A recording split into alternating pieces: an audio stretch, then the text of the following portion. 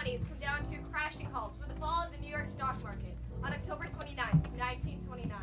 Imagine yourself as one of many typical Americans. All your hard-earned money deposited into a bank that just closed its doors, along with banks all across the country. Or perhaps you're an Okie, whose land is being blown across the western states, leaving sandhills where you used to have wheat fields. Your house, your car, your tractor, your land, one by one, they are taken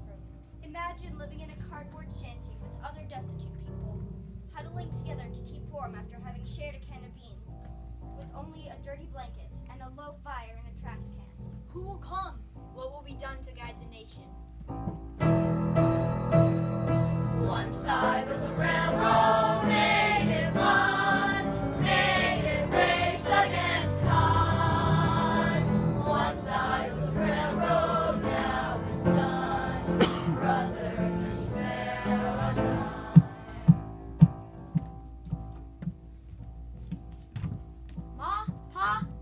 Nobody here?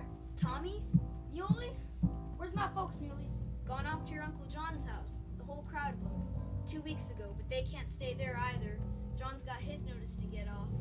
How come they got to get off? We've been here 50 years, same place. Everybody's got to get off. Everybody's leaving. Going to California. My folks, your folks, everybody's folks. But who done it?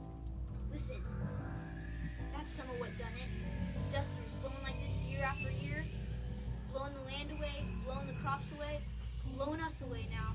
The man come one day.